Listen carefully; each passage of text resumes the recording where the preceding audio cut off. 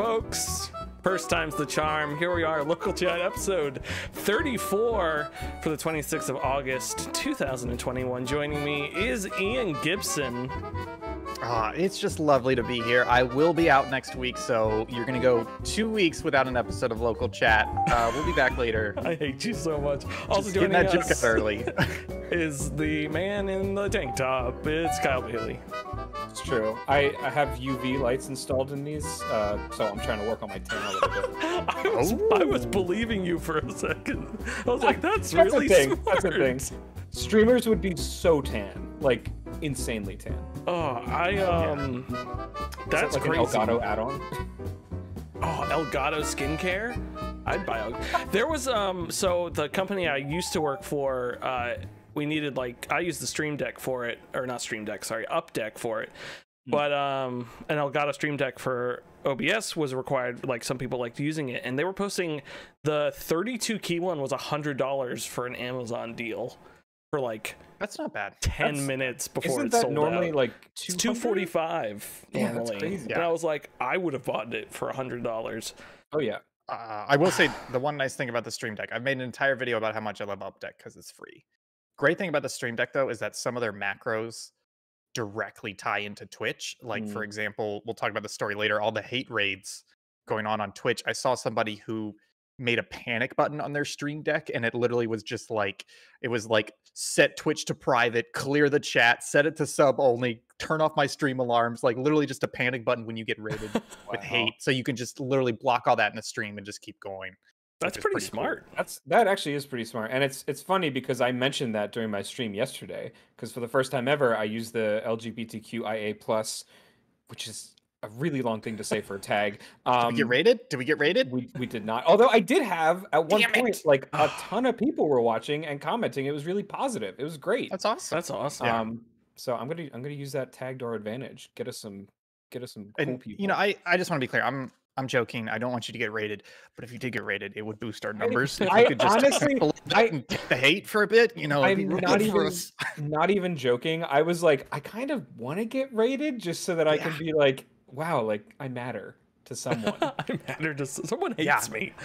And then you Uh, clip and then you clip your reaction we put it on tiktok with Exactly. the lgbtqia tag Yep. and it goes viral as look at this look at this proud strong streamer facing the hate people we can do this do you know if we can get in contact with the hate rate people and just like give them hints on who they should target next just just Yeah, just look in uh, just look in Alana's tweet responses or whatever. Yeah. Alana Pierce's. Oh yeah. Just look there.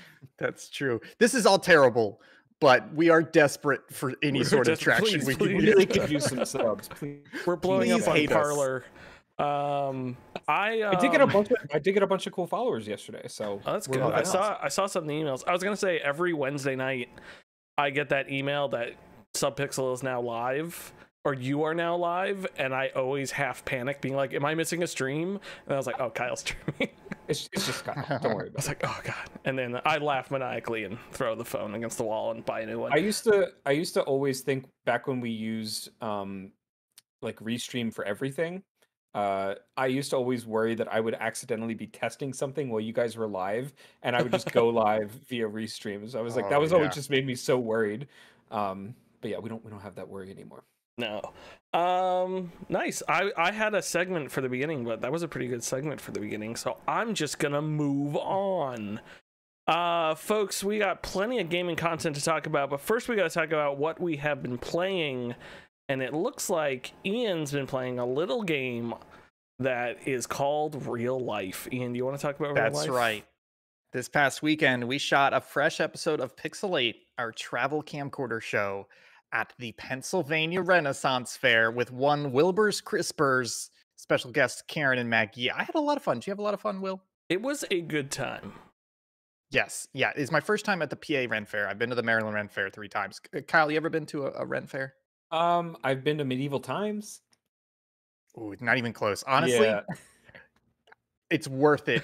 Actually, you're not that far from, well, I don't know. So I my don't know if my there's a good friend Jersey one. My friend Jimmy uh, goes to a Ren fair, I think in PA, and I think there's a couple in New Jersey that he's been to. He goes to, he does all like cosplay stuff, and he's invited me in the past couple years, and I just have never been able to make it because of work or or I was just Mhm. busy. So I do want to go at some points, but tell me, tell me how this one was because I'm really interested. It's like just to set the scene. All right, I don't know about you guys, but before I ever went to a Ren fair, all I had was like the TV portrayal of it, which is basically just like a field filled with temporary tents and people in costume. You know, Mm. like that was pretty much it.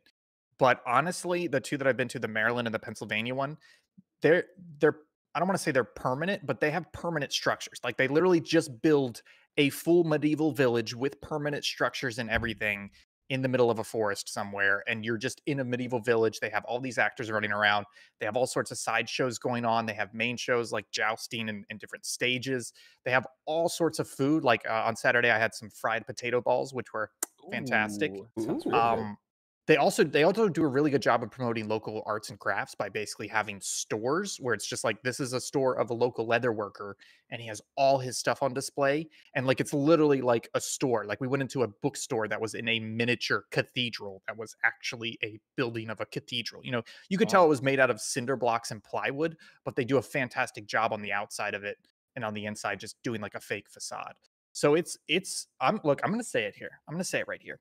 A good Uh-oh. ren fair and the pennsylvania maryland ren fairs are very good a good ren fair.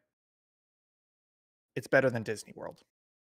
It really is. It's a High quarter of the price it's a quarter of the price and it's much more entertaining.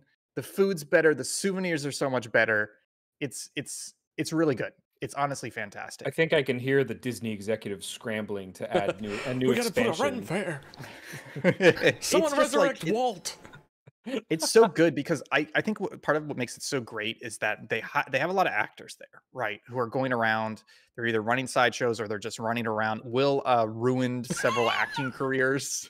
Okay, so it was the first. Let me set the scene. It's the first day of the Pennsylvania Ren Fair. I don't even know if they had it in 2020. I'm going to assume no, just to make the story better. So it's been almost two years since these people have played medieval, right? And like 90% of the time, it's improv. They're running around interacting with people, right? And it's it's like 15 minutes after the Ren Fair opens. We're walking along, and this this woman, this middle aged woman, comes running up behind us, and she's screaming. She's like, "She's after me! She's after me! She's she's after me for killing a goat!" And she's like, "I'm the butcher. That's what I'm supposed to do." Oh, sheep! And she's like, and we're like, "Oh, okay. Well, did you did you kill her sheep?" She's like, "Yeah, I'm a butcher. I butch." And and she's like, "What else is sheep good for?" And Will goes, "Wool." And the actress just goes. And then she just took off running. and we started laughing. We are like, didn't think of that one. She goes, I'll have to remember that. And then she keeps running. I, Just you improv him so hard, you made him break character. It was great. I was just like, wool? Yeah. And then you Uh, tell the story about the other guy later on in the afternoon because I wasn't there for that one. Well, the other guy wasn't as big, but I was just like, can't. Karen and my hands brushed while we were walking, and not that that's anything like we would hold hands and stuff, but don't have to he's brag the, about it, the- yeah, yeah, we get it. Um, the guy, the actor saw us, and he thought we were holding hands, and so he was trying to make a joke about how if you hold hands, that's how you become pregnant. And then he was like, he real he like halfway got through the joke, and then realized we weren't holding hands. He's like, "Oh, I thought you were holding hands." And I was like, "No, I just brushed your hand." And he did this whole thing about, I can't remember what it was, but I looked at him and I was like, "Yeah, I prefer brushing the hands. It's like playing. It's like playing the harp." And he just looked at me and he's like. That's clever, and just like ran like like him as the guy said that, and just ran away. I was like, I guess it was clever. no. So he told us that story. And then later we're sitting there, we're sitting at a table eating food or something, and the guy walks by and he spots us and he comes over and I, I forget what he says exactly, but he said something like, Did you get any hand juice on you? And then he goes, Oh no, I'm sorry. That didn't sound right. I meant to say like sweat in a clever way, but hand juice does not Oh, sound man. right. No. It was it was disturbing. The guy was actually genuinely pretty funny and a nice guy. Yeah. But yeah, hand juice is not a thing you want to say to people in public. Yeah, we had Um, like a five minute conversation with him about my camcorder, and he was talking about how it's like vinyl records are coming back and all that, and it was it was pretty cool. Uh, but yeah, Pennsylvania Ren Fair, it's fantastic. Um, I haven't really been playing any other video games because I'm busy packing for an upcoming move. But uh, I just wanted to mention that we've got a new episode of Pixel 8 coming up. It's not just a plug, it's also a plead with you. Go to your Ren Fair, support those people. They're all out of work, uh, former high school drama kids. So, you know, just give them your money. they deserve it. teachers. And They like weird people it. who are into leather crafting but haven't their Etsy business hasn't really taken off, so they're kind of stuck selling at the Ren Fair. They're all fantastic people. 100% deserve it. Go there, bring a whole bunch of money with you because you got to try all the food they've got. You got to buy all the weird souvenirs. I have like four or five different like handmade mugs now from Ren Fairs because they're awesome. Just Ren Fairs are great. Uh, Kyle, it looks like you've been playing Ass Ass. Is that right? I've been playing a lot of ass ass in Creed. Um, it's been, I guess you could say it's been an odyssey. Um, Woo. yeah, see what I did there? Uh, okay, yeah. So I have, it's kind of embarrassing. I've played, last I checked, like 78 hours of Assassin's Creed Odyssey, um, which is the most amount of time I've sunk in a game in this short amount of time in a really long time. Um, I really like this game, and it's held my attention for way longer than I thought it would, despite it having a pretty repetitive gameplay loop. Um, Mhm. and I think that's just a testament to out of out of the the three recent Assassin's Creed. So what Origins, Odyssey, which came first? Or Origins, came Origins. Origins Origins, came yeah. first, then Odyssey, and then Valhalla. Out of those three, and I've actually talked about this last night with a couple people in chat. Um, Odyssey seems to have been the best received one and the one that people had the most fun with by and large. I mean, I'm sure there are pockets of people who prefer either or, but I've just been really enjoying the game. I I also have a really great love of Greek mythology, so it's really cool for me to be able to like go and see like, oh, this is like you know I'm seeing stuff with Perseus or Theseus um, and the Minotaur and, and stuff like that. And I think that the story actually, other than a few like um so like story in video games is obviously really hard to do and unless you're naughty dog and you're essentially making a movie that's playable um if it's if it's fully interactive like the assassin's creed franchise is the player's going to be able to do stuff out of order right there's going to be certain things Yeah. that happen and i think that um especially with odyssey there are certain things especially towards the end game that Mhm.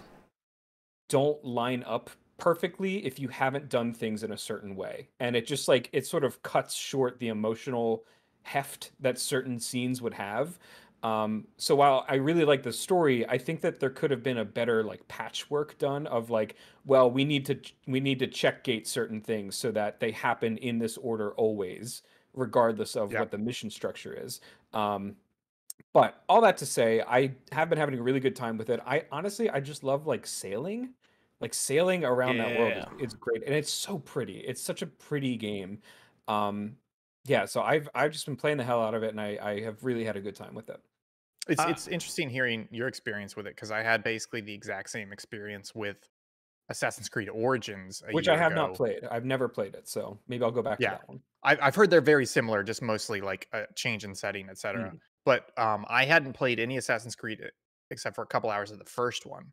But last year, after hearing all the praise for Origins and people being like, "This is not your typical Assassin's Creed game," and then I think it was on sale for like ten bucks on Xbox or something, Mm. and it was pandemic time when you're just like, before before you knew how to pandemic properly, you're just like, "What do I do with all this time?" yeah um so i got the game yeah and i played like 30 hours of it in the first week because it was just like it, it like like i'm right there with you like there's nothing incredible about the gameplay there's nothing incredible about the story but the way they just set it out and they set the world up is you're just like i'm just gonna sit down for a couple hours and then just play this game over and over and over again and it's it's weird it, it's weird for me to do that because as as you all know i'm very judgmental about games so for me to continuously play a game that i'm not even crazy about means there's something special going on there which is Yeah. interesting I I completely agree, and I actually found myself thinking that exact same thing, where I was like, I've done this mission before. Like I've done this mission twenty times already. Why am I still interested in continuing?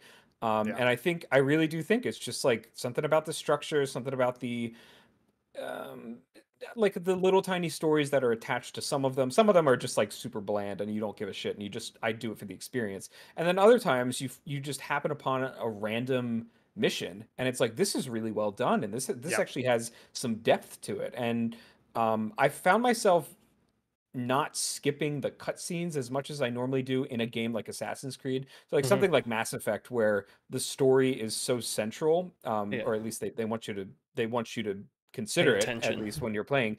I never skip the cutscenes. And with Assassin's Creed or like certain other RPG games, I'm like, I don't really care. This is just a side mission. Thanks for the voice acting, but I'm just going to skip right over it. And I found myself doing that way less playing through Odyssey. Um, and it's it's just it's really well done. It, like you said, it's not the greatest game in the world, but it's good and it's Yeah. it's sort of addicting in that way. So I definitely recommend it. And I've actually heard that Valhalla is like several steps back from from Odyssey, which is really disappointing because I was kind of looking forward to playing that next. But now I think with your recommendation, I might just go back and play Origins. Yeah. yeah, The Origins, um, Origins story. Again, I haven't played Odyssey, but I feel like a lot of people who prefer Origin to Odyssey claim the story's a lot better. And from what I Mhm. played of the story, there was definitely some really strong story beats in there. Yeah. Um, I I think for me, I'm right there with you where I I don't want to hop into Valhalla because I'm not that interested in Vikings. Plus, the reaction's been a little bit lukewarm. Yeah.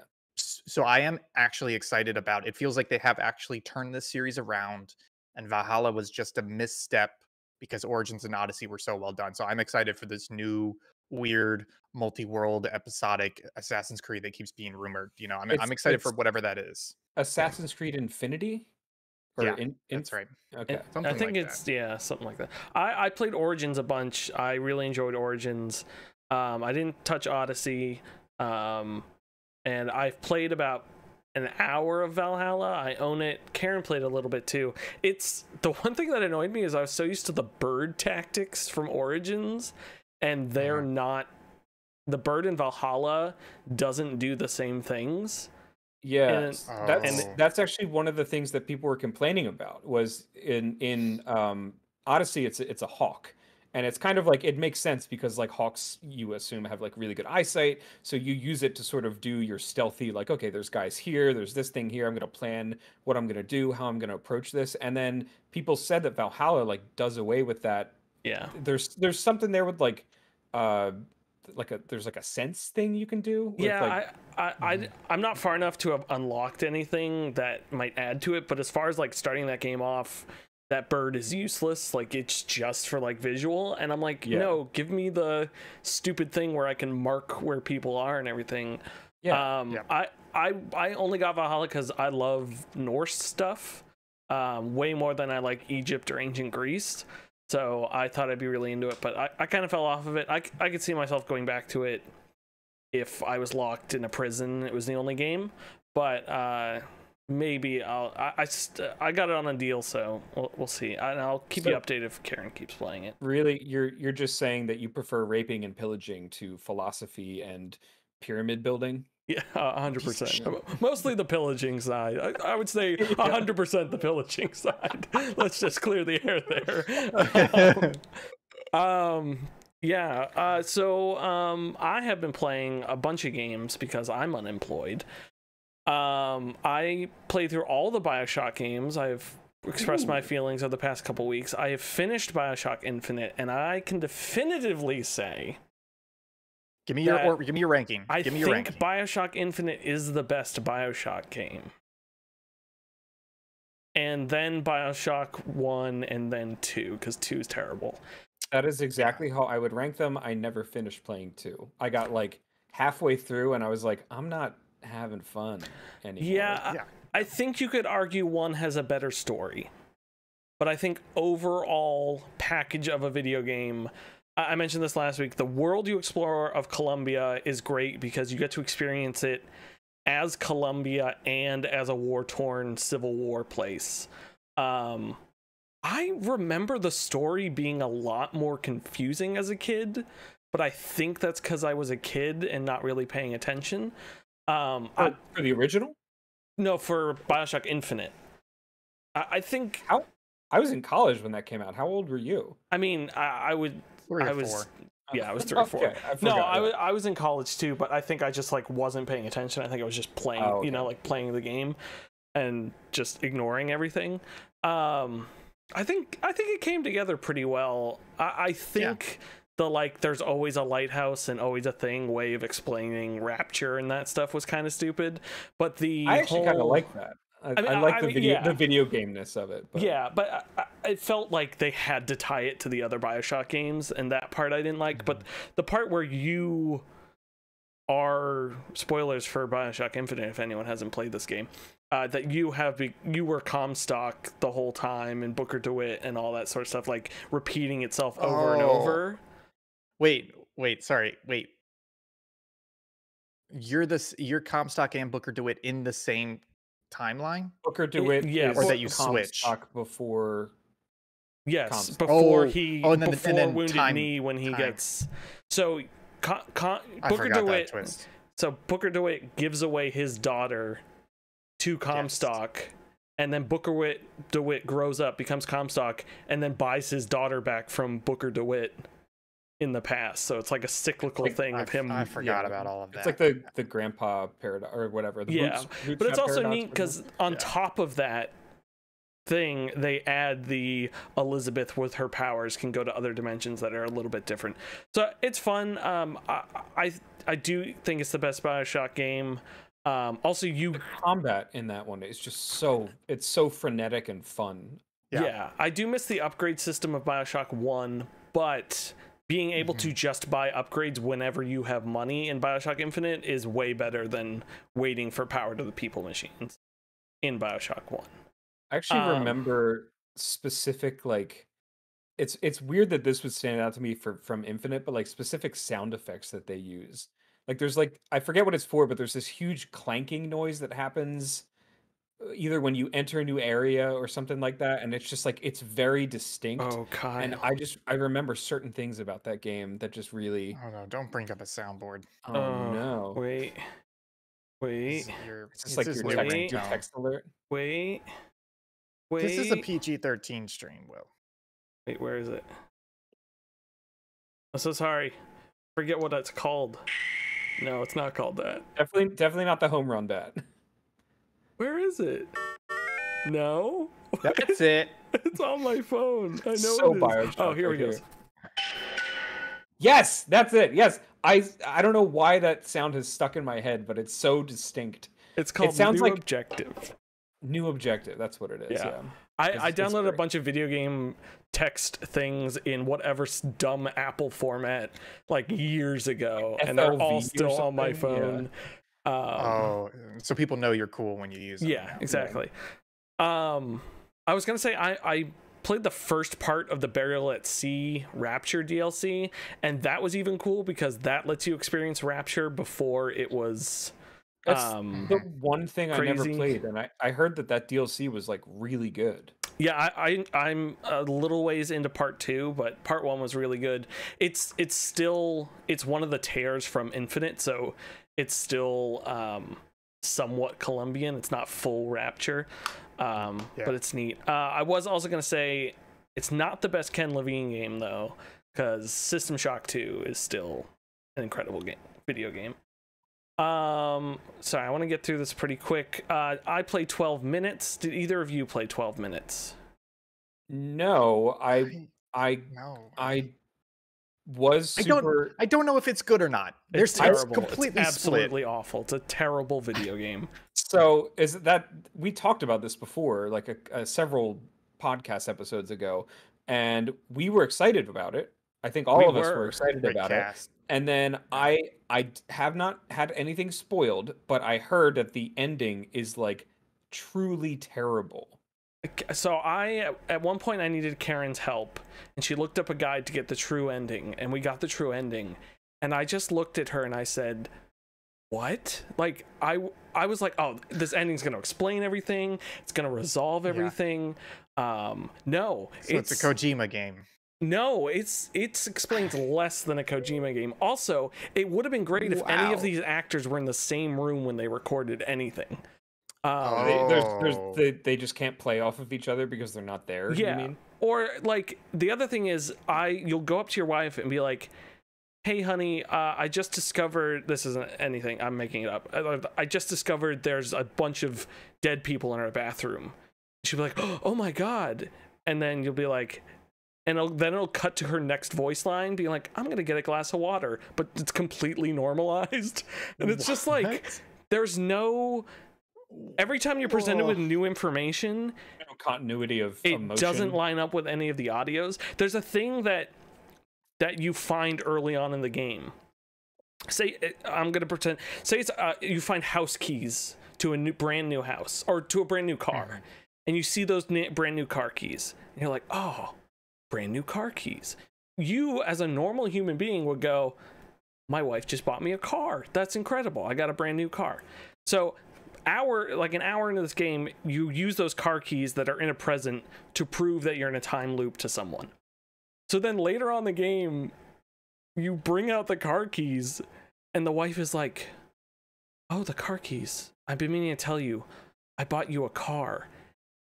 And he just like you bought me a car? What? Like as if he never knew there were car keys like amazed that she bought him a car as if he didn't know the whole time like he's in the but he's in a time loop. But You he's know, in a supposed time to loop. know all this. and he knows all this from finding the car keys but it's when she tells him they're car keys it's when he realizes he has a new it's obviously not car keys but it's something Oh, along those lines that the whole time he should have realized this was the thing and he, when she tells him it he acts surprised as if he's finding out and not in an acting way in a bad writing way.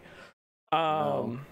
yeah it's it's it's not a good point and click adventure game. It it it breaks the rule of like you can't do everything in the first run like you could in outer wilds. Like you need you need to find things so the options come up to talk to people which is fine but it's just like it's it's just and it, it- yeah it's, it's just What's the- it's what's not a good total- game What's the total playtime here? Average. i want to say it was like five hours four hours might have been less And how much? How much was it? uh, it was on game Game pass so it was free Oh, okay, so it was free. Um, and is it is it uh Annapurna? yeah which is it that? surprising Which is weird because Annapurna normally puts out pretty good stuff. and they delayed this whole game to put was- the I- actors into it yeah, And I just don't know how anyone at Annapurna heard the story pitch and said yes. I just I don't I don't know. Um who who wrote it? some person who exists. Okay, It's just like it's just like you know when it was first pitched, it was like oh you're doing a time loop thing, but it was so well presented that a time loop is not good enough anymore. Even in a video game, it's not good enough. But it was so well presented that you believed that they were doing it right, where there was so many possibilities that it felt believable that there was a story worth telling and worth playing through, and so many different options and pathways and ways to interact with people in the environment. And hearing all these negative takes, it's like, oh, they didn't do that. They just did a bad generic time loop. Yeah. And it's just like, ugh, that's disappointing. Yeah um so yeah, I was super disappointed by that, but um yeah. Uh and then finally, uh I've been playing a bunch of Train Sim World 2.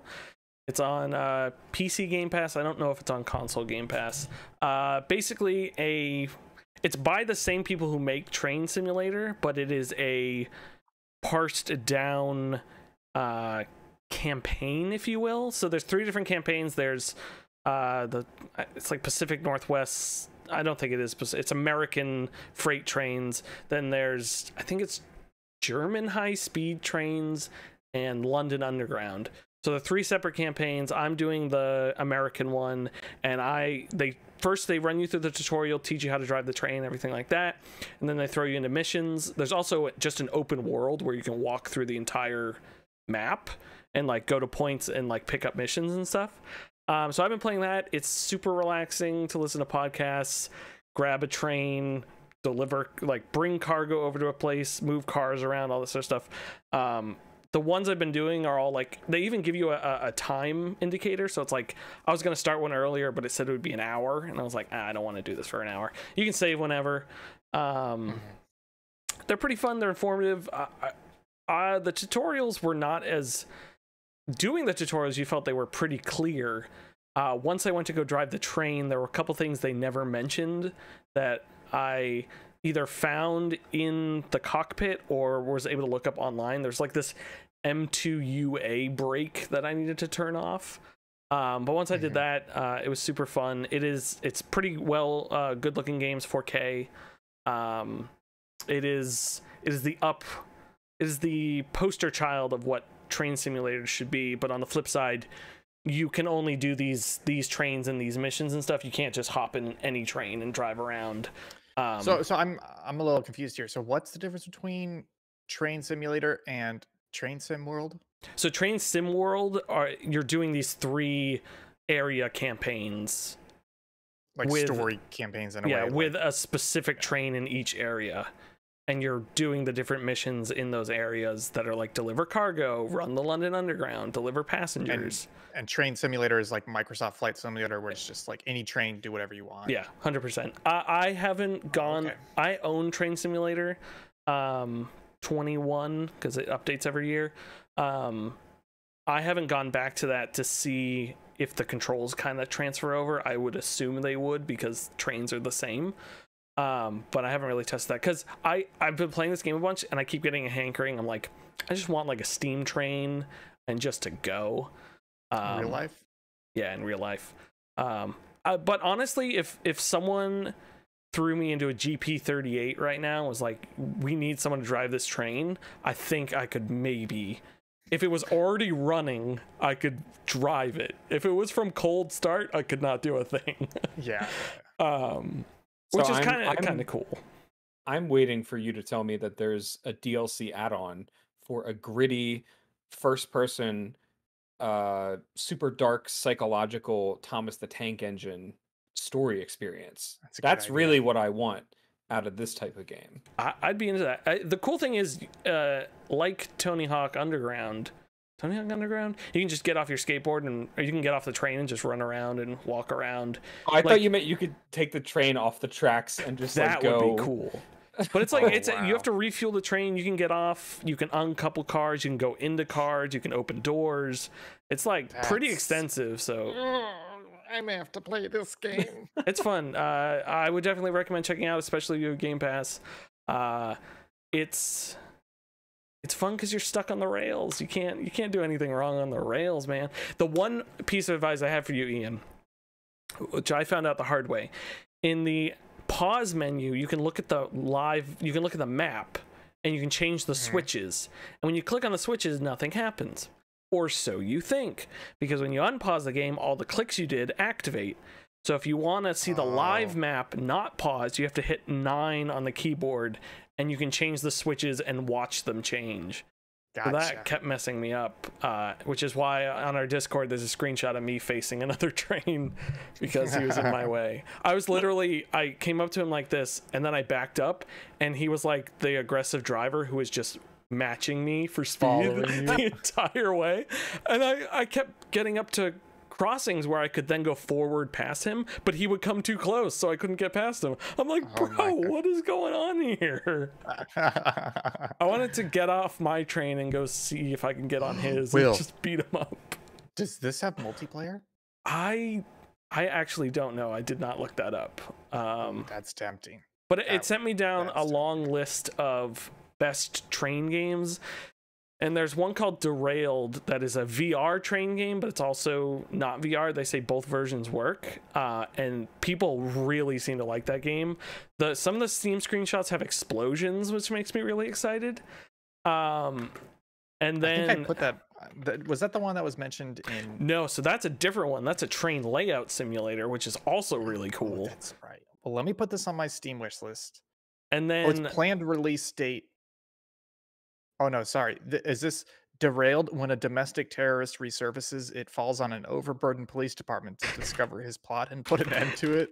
I think it's dera- it's it's Derail Valley. Sorry, Derail Valley. Rail Valley.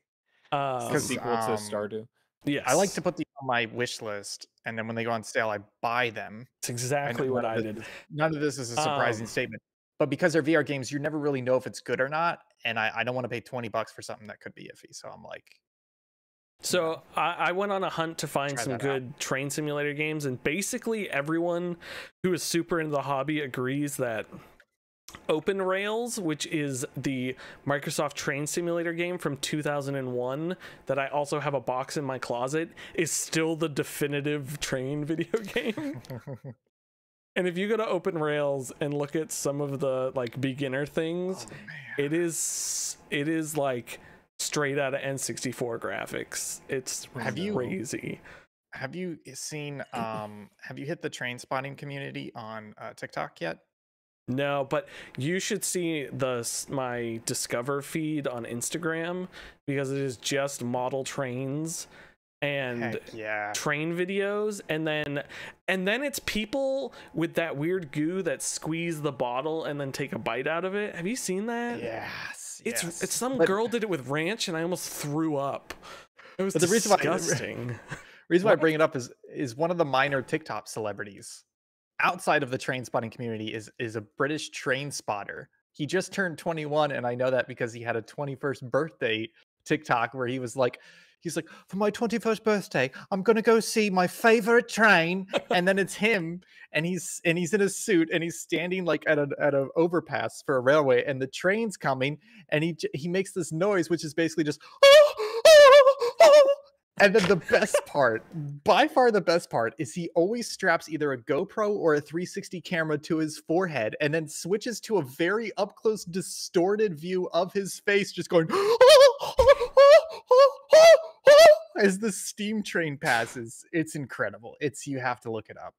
It's incredible. I love trains. I feel like I just experienced it. So I was at my parents' a couple insane. weekends ago, and I was looking at my train collection, and I was like, I want to bring this to New Jersey, but I can't. I'm I'm taking Amtrak for the very first time tomorrow, so I'm I'm kind of excited, but it's also like a 19 hour overnight trip in a coach seat, so not terribly excited, but let's see what happens. I'm so jealous. That's gonna be fun. Um, okay, I've talked enough about trains and running trains. Uh, so we should probably Ah, move on to sorry, engineering Uh, trains. Keep going, keep going, keep Um. It's time to move on to the news, and it's time to play our favorite news theme that everyone loves, and we're gonna do that now. Who's that?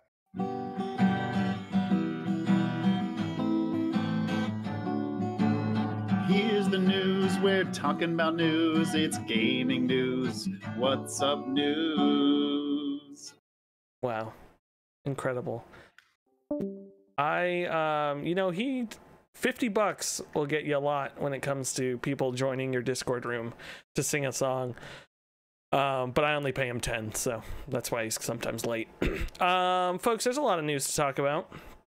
And when I think about news, I think about Gamescom opening night live. Not a bad segue. I'm either- five out of ten. Have you watched the Gamescom opening night live? I I I, did not. I watched the Nextlander stream. Um, God, I hate them. No, they're great. Um, so I I, just- linked here. I'm just allergic to Keighley Productions. They're just they're way too Yeah. kiss ass and they're way too commercial. and I Honestly, I only watched it to see more details on one video game. Um, and we'll probably get to that at some point. So, um, I am. We are viewing the Gamescom opening night live biggest announcements by uh, Polygon. So, if you want to follow along and or yell at us for not including a game that was not part of the biggest announcements, then you can go cry about it. It's your own Um, some of the highlights: Saints Row reboot revealed. I thought it looked not fun. I'm gonna I'm gonna watch it now, but um, I saw some screenshots from it. I was literally just thinking about. Did you guys, you guys ever played Saints Row? What's your Saints Row history? Uh, I played Saints Row two and three, and Played one or two. very much liked two and thought three was fine. I think I played one only or played- two, and sorry, uh, and uh, f- the the superpower one. Four. I think Oh, that one. three. The one, whichever one it is that you're president. Um, Um, yeah. I I played one when it came out. That's the only one I played, and I I I really liked it because it felt like, you know, before there was a whole bunch of like open world GTA clones. This felt like its own thing. It Yep. felt like a really good GTA clone. They had vehicle customization, which I really enjoyed. They had like the gang war turf stuff, which I really enjoyed. And it was just kind of like a s- like a solid seven out of ten. I was like, I'm enjoying it. You know, similar to Assassin's Creed we were talking about earlier, where I'm just like, you know what, this has got some good stuff, it's got some bad stuff, but I'm just enjoying playing it.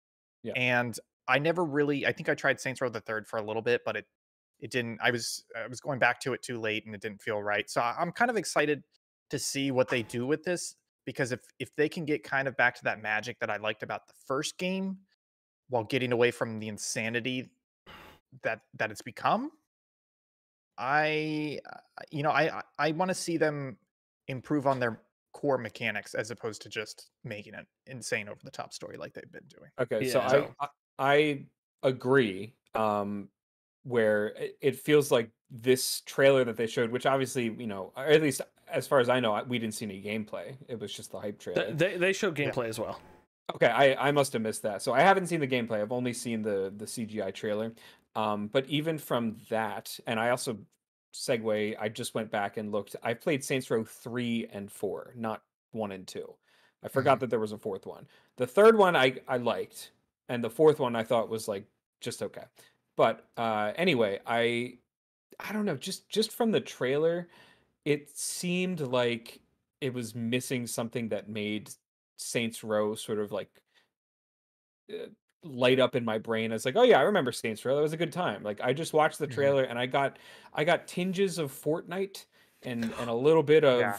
That um, was what I was sorry, gonna Will. say. I was I was gonna say it, it looks like a Fortnite game. At least from the trailer. Like the characters look exactly like they're from Fortnite. Um, which I guess you could argue Fortnite characters look like they're from Saints Row, maybe. Um, a Mm. little bit, like a little bit. But anyway, the, Yeah. the other thing, the other thing was in Saints Row. I don't know about the first two, but in Saints Row three and four, they had the same characters. It was like Sh- Shaundi and um like a, a there were like named characters that you could Yeah. remember that were part of the story and they as far as i know they don't have them in the in as playable characters in the new game um which i if they're doing a prequel to how the saints became the saints it kind of feels weird not to have those same characters in there i mean i'm sure they'll make appearances maybe but i don't know it just seems very strange a Yeah. strange choice to me I think this this is a full reboot. Um, and Oh, okay. also, yeah, I, I agree. Like the whole time I watched that that trailer, I was like, this just looks like Fortnite. Yeah. And also them saying it's all f- it can it doesn't have to be that it is allowed four player co op for everything. Um, it Mhm. kind of just looks like a GTA Online clone from a from some of the uh, gameplay they showed off. Hmm. It was like people in helicopters shooting things and everything. So I don't, Yeah. I've never been a huge fan of Saints Row. I, it was one or two I played a ton of at a friend's house, um, and then a little bit of four because I think I think it was on Game Pass when Game Pass first started, and I was like, oh, I'll check this out. But yeah. it'll be interesting to see uh, if it again if it comes to Game Pass, I'll download it. So. Um, the Firaxis uh, announced their new Marvel XCOM game, uh, Midnight Suns, based off the Midnight Suns property. Um, eh, I, it doesn't seem like you are creating your own superheroes and doing that sort of So, stuff. so there's a there's an interview, and basically they say you are creating the main protagonist of the game, but all the other members of your team are actual Yeah, pre-established markers. and there's no which is not- permadeath. We talked about um, that. That's not what we. That's yeah. not what we want. and also uh, Alex Navarro was saying this from a, a uh, on an Nextlander podcast that the develop uh, the lead designer I can't think of his name mentioned that there are no game mechanics in uh, borrowed from XCOM in the new Marvel game, which like he said zero game mechanics, and I don't know what that means. how does that work Yeah. um Does that Because I mean know there's, like, everything's brand new and exciting and 'Cause I- innovative, or does it mean we've had to cut some stuff? Maybe they're I was just like, does that mean there's no grid? everything. There's no cover? There's no sh- guns? There's no like. Yeah, weird. What does that mean? So there's So no characters there's no graphics it's just completely Different. at this point, just- just, give me XCOM three. At this point, um, just give this property to Ubisoft because they're making the best tactical turn-based games right now. Rabbids man waiting for it. Um, next up, uh, Halo Infinite got a release date, uh, December eighth, twenty twenty one. Excited for that. I contemplated buying that new controller they revealed, which is the Those Master Chief snazzy. Elite. It's two hundred dollars though, Ooh.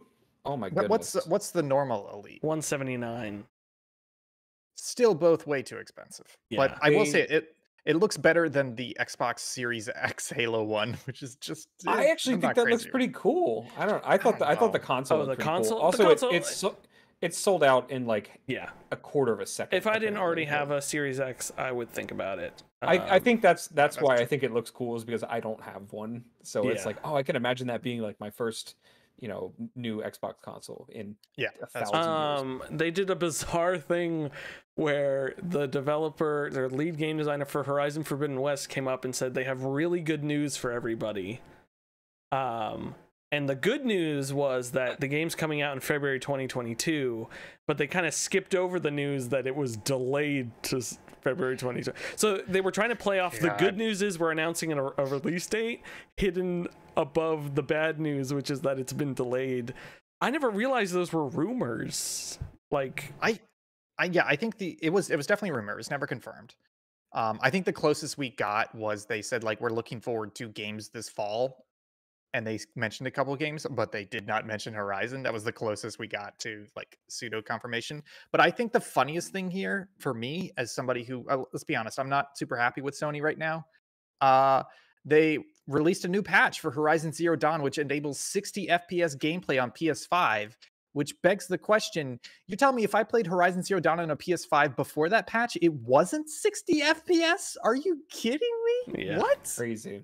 I might have to go That's back and check out that game again now that it's running in 60. So, Sony, Um, get your backwards compatibility together. I think you my know? favorite thing about this delay is that it means the hot new Sony release of the year will be God Death Stranding Director's Cut. Hell yes. featuring amazing things like the buddy bot and a giant cannon and so many other cool things and new sneaking missions and a virtual uh, virtual And- arsenal and not jetpacks uh, and not jetpacks and those things that just make- racing. yeah i'm excited So i love death stranding um The one thing they still they still have not added is a way to play music while you're walking. I was so mad. They showed off new Why songs have they not in the added that? thing, and I was like, "What? I want songs while I'm walking, Kojima. That's all I want." Man, if they just had a little in-game Walkman and then you could play it and it gave like Why a don't slightly they tinny have- feel. Sony Walkman. I don't. I don't Metal Gear Solid understand. Five had that. Why didn't they just continue it? It's about his Walkman all the time. He just pick, takes pictures and puts it on Twitter all the time of his Walkman. But uh, Come on, Metal Gear guys. Solid Five had music and this Yes. feature. I don't know why it's not in this. It, it's not the engine. Um, yeah, They haven't figured out MP3s yet, so. I just my that. favorite thing is with the buddy bot. You can just you can have Sam sit on it. That's the, it that's the best mechanic. It's basically like I'm gonna have the computer do the game for me. I was so excited. Perfect. Um, also, they had an extremely long and drawn out demo of Call of Duty Vanguard, which unfortunately is not the alt history World War II game I wanted. Ugh, Um, If only. so I it's just just I don't. I'm, I'm I looking at don't this care. demo playthrough and it's Stalingrad, which if you guys remember, Call of Duty One and Call of Duty Two had some fantastic Eastern Front missions, including in Stalingrad, and this And just Black Ops too, I think. this just does not. this is just not. This is this this. I don't want to say this doesn't look bad. It's just like this is nowhere near the glory Yeah. of Call of Duty. I just made me care. pull out. I pulled Yeah. out my copy of Call of Duty 2 because it's backwards compatible, uh, so I could load it up. Because that game is fantastic. Um, Yeah. Anyways, those are all the big Gamescom opening night live reveals. Um, We're yeah, not gonna not- talk about Teenage Mutant Ninja Turtles. no, I don't give a rat's behind Cares. about Teenage Mutant Ninja Oh. Turtles. Although uh, that Super Monkey Ball game's getting closer, and Kiryu's in it, so get excited. Um, oh. Okay, back to the notes sheet. Uh, we touched on Halo Infinite, got its release date December 8th, 2021. But what we didn't get into is that the game will not be launching with co op campaign or Forge. Um, the folks from 343 got onto a development update and video, and where they explained that uh, they're going to do seasons because that's a crazy new concept. Uh, I believe they revealed they were doing three month seasons. Um, Something like that. yeah. they and they posted a seasonal roadmap. Uh, and season one, I think they were gonna add co-op campaign, and then season two is Forge. It might be two and three. I, I don't know if the season know it- starts when the game comes out or not. Do we know if this this season is this is this season in the live multiplayer service sense where it's just like, oh, we're gonna add new multiplayer maps, or is this season in terms of like we're adding single player content as well? I think I think it's both. I think every three months is a new season, so it'll be a new seasonal pass, probably a battle mm-hmm. pass, multiplayer stuff, special events, and an update. I mean, probably the exact same way Destiny does it, and a lot of other games. Because I, I think that's Um, what I'm trying to get at is I, I I'm on board. I'm 100% on board for open world Halo Infinite as a live service. Um, but I just need to know that they are fully committing to that model. Yeah. Um, you know, I want to know that it's going to be adding content like Destiny, hopefully of a better quality and sense than Destiny. But you know, I I, I want to know that this is i- hey, if it's just a single play open world like an Assassin's Creed game, I'm fine with that too. I'm perfectly fine with that too if it's well done. But I really like the idea of I want to get into Halo Infinite like I would any other MMO like Destiny, like Final Yeah. Fantasy, like World of Warcraft. I would love for that to happen. Yeah, and um, I, I think I mentioned this in the Discord, but I, I'm excited that there's enough time between Battlefield 2042 and this, so I don't get caught up in both multiplayers. those are like the two games I've played multiplayer in, and uh, that way I, I have some space between them.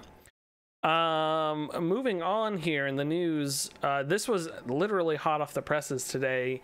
Uh, Overwatch put out a statement saying they are going to rename the character Jesse McCree. Uh, as people know, Jesse McCree, the character, is named after the game designer who was recently fired from Blizzard for sexual harassment, among other things.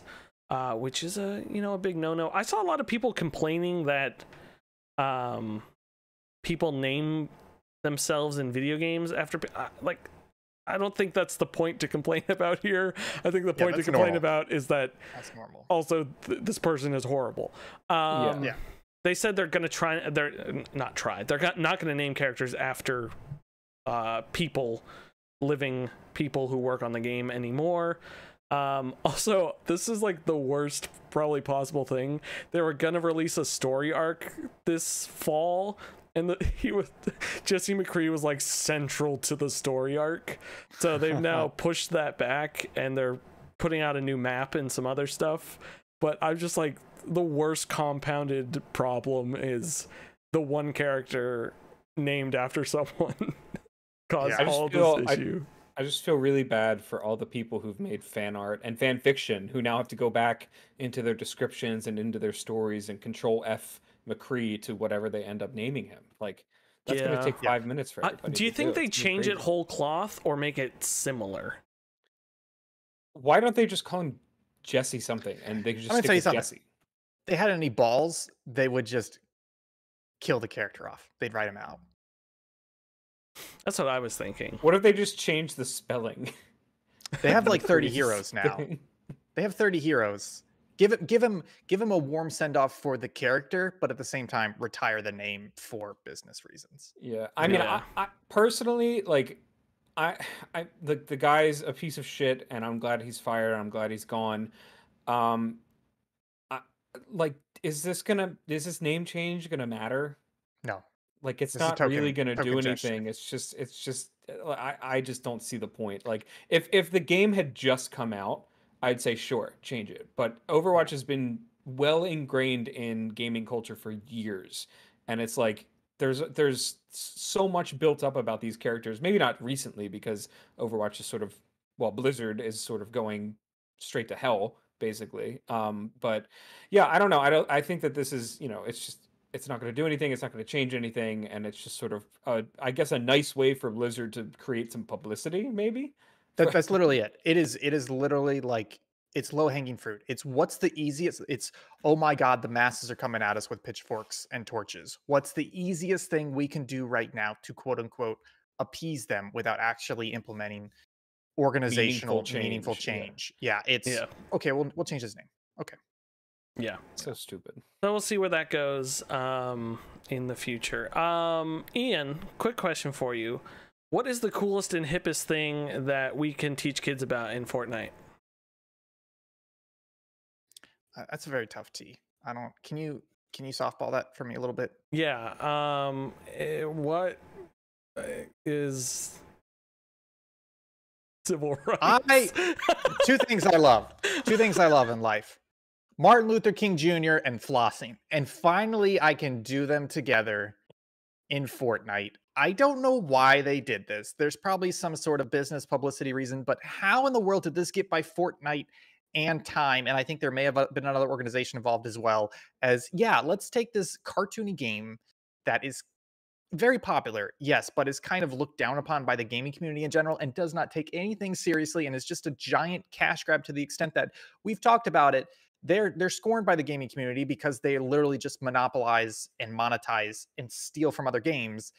And let's have an MLK Jr. themed exhibit interactive built into Fortnite. It's just like why? Why? Terrible. Terrible. This is people who are like so outside of the norm of society and don't understand how to do things properly that they go, Fortnite's popular. What if Fortnite anti-racism is also popular? What if Fortnite was anti-racist? That's great. Yeah, don't get the kids going. Let's do this. Let's do this. You know, it's just so stupid. I, I hate it. Yeah, t- watching people, watching the xenomorph and Rick from Rick and Morty walking around and posing in front of the different things in this MLK museum and watching the I Have a Dream speech on a giant screen was eye opening. Yeah. Um, I mean, they they started with Palpatine, and I guess they they just wanted to swing way in the In hell, direction. Kyle. I forgot about that. Now I'm mad about Star Wars again. Damn it. oh, I just like I want to be clear. Video games are an incredible medium, just like any other uh, aesthetic medium. You can do incredible, moving, touching, empathetic, uh, instructive things with it. This is not the way to do it. This Yeah. feels like a horrible marketing cash grab, and it's I- just. I mean, dumb. even even them it's bad. releasing this as a separate executable in Epic would have been better. Like Yes, as a museum that you can go do in the Unreal Engine. And, yeah, and don't I, let me don't let me take my Fortnite skins into this so that I can dab and floss as as Right. Rick from Rick and Morty I- in front of the MLK speech, I was which is thinking- literally what people are doing. even a, even in a game like Roblox, this would have made more sense because that is a game of different games. Yes. Like Yes. that would have been more okay, but but kids going in this museum, walking around, looking at this different stuff, and then leaving, and then going into a game where the uh, not even leaving the game, but changing to the mode where they just shoot each other is not I'm the just- right I'm just place. I'm seeing parallels between this and Justin Bieber saying that Anne Frank would be a believer. That would like Martin Luther King would play Fortnite. I forgot about that. That's so good. What's his rationale? Is that she was a teenager? Like, I guess I don't know. I mean, like But that's M- your MLK right. would MLK would play Fortnite. You know, Yeah. Did he mean if she I was mean- alive still? Yeah. I guess. Yeah. As an old woman, she would be a believer?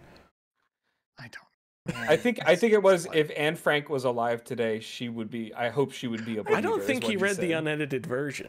This is gonna be very Maybe cynical, but I feel like I feel like in my head I'm almost reading it as Justin going like, "Yeah, she sounds like somebody I should care about, just like I care about my fans." And it's like, well, you only care about them because they make you money, so Yeah, She really only Jesus cared would be a believer. you really only care about people you can monetize and capitalize off of some way. It's that's awful. yeah. Ugh. Um. Skip? Sorry. Skip all this. Yeah, we can skip the rest of this. None of it's good. Um. Man, I can't believe it's ten o'clock already. I, I will just say because we talked about it. Did we talk about it in the the fake opening or the real opening? We talked about it in the real opening. The Twitch hate uh hate Oh, yeah. raids.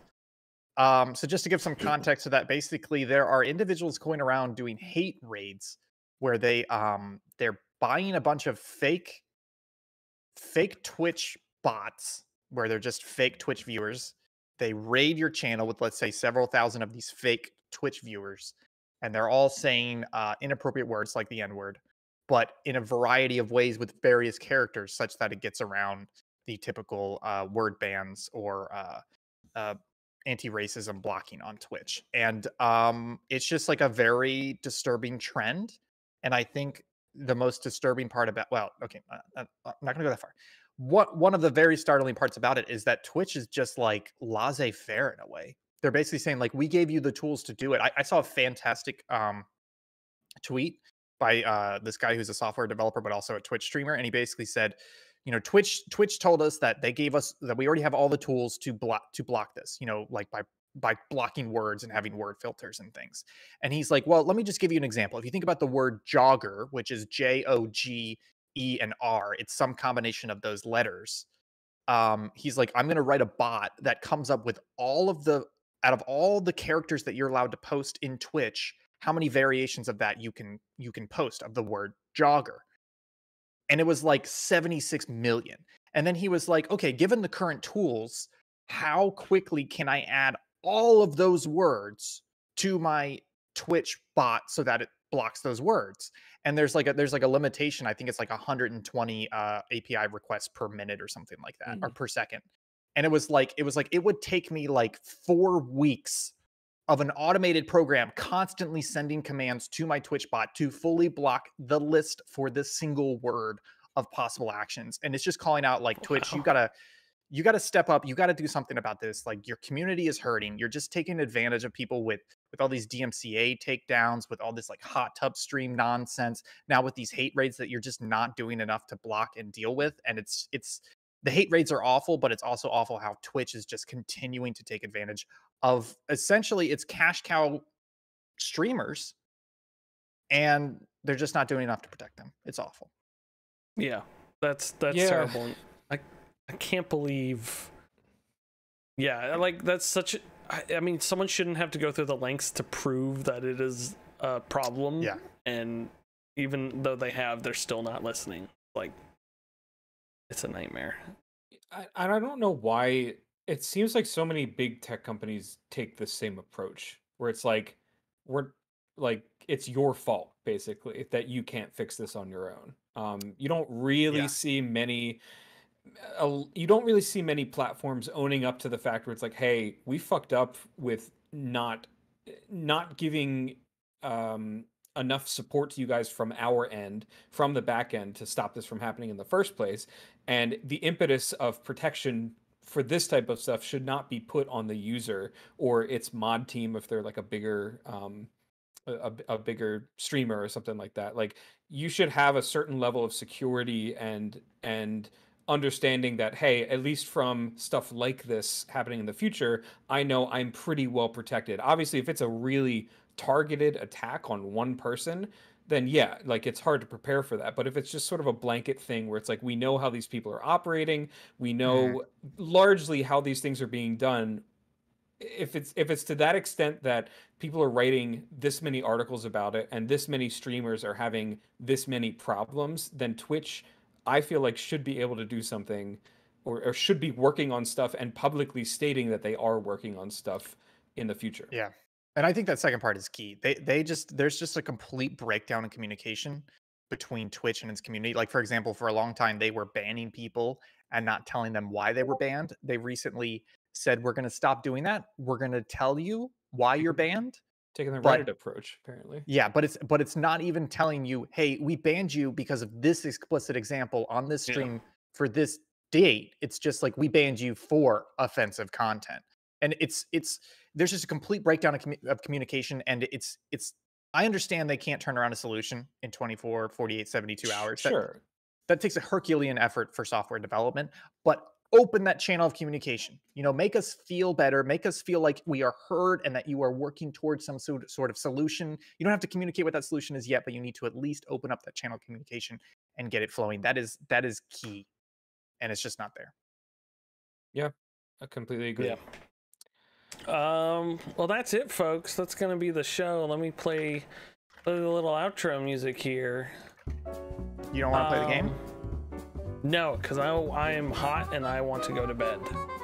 fair enough Sorry. Um, folks, if you enjoyed this show, you can consider seeing our other content by going to subpixelfilms.com where you can see all of our hot, hot content. Uh, recently, I released another highlight of uh, Chris from Save Data, I playing through the Turning Point Fall of Liberty game. Uh, that was certainly very fun. Um, Ian has as Pencil- our Pennsylvania Ra- uh, Railway, Pennsylvania Renaissance Fair video coming out this Monday. That'll be a blast. Um, you can find us all on Twitter at Subpixel Team. You can find Ian on Twitter at uh, Think Gibson. Man, I'm losing it tonight. You can find. Kyle on You're Twitter done. at Kyle Cut the him Beard. off. Uh, you can find me on Twitter at Hunt270. You can find all of our content everywhere you look. Uh, Saturday, probably around 11 a.m., I'm going to be streaming out of the studio with Chris. I think we're playing Ride to Hell Retribution, is what Chris wants to play. Uh, he said it has a sex scene with clothes on, so that's going to be a lot of fun. Uh, that's how all When- my when sex scenes go. Um, Saturday around 11, I think. Oh, it sounds like fun. So should be fun. Um, I don't know. What are we doing Saturday night? I have no idea. Nothing. I'm not there. Oh, you're not there. Oh, this is gonna be the Saturday stream then. I forgot I was doing that. Um, until then, have a great week, and we will see you all next week. Bye.